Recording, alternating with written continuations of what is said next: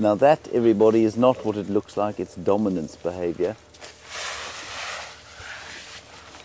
It's two young bulls. That isn't a cow in front there. And sometimes, in fact, there are many, many species where that happens. Where a young bull will try and impress himself on basically the other young bulls to eh, sort of create a dominance hierarchy. Not a cow he was chasing. So earlier on I thought it was. Now here's a young cow to the other side of us. Sorry, Viam, to have to flick around here. And she's also trying to avoid the bulls. I can tell she's a young cow because she's got slightly swollen mammaries.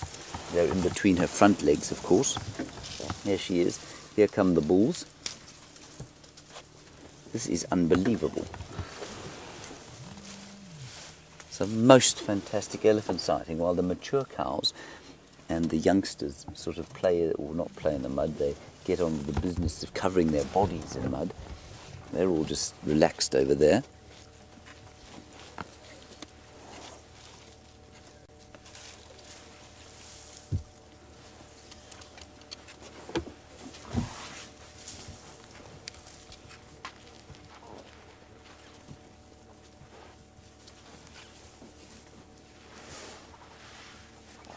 This is fantastic.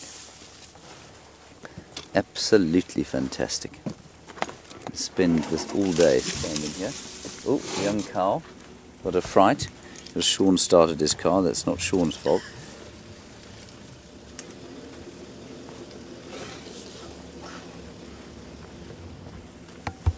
And here go the elephants now. They're thinking of moving past. I'm just going to sit here and let them go. They are very close by.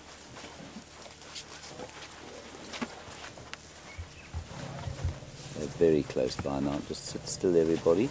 Don't make a noise. That's the matriarch there. I think that tuskless cow. We know her. They are so close now. Just two feet.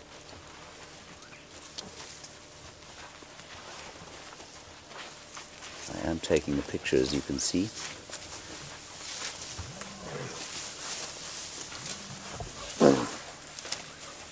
Sometimes it's just better to use your cell phone. Liam, mm-hmm. you enjoying this?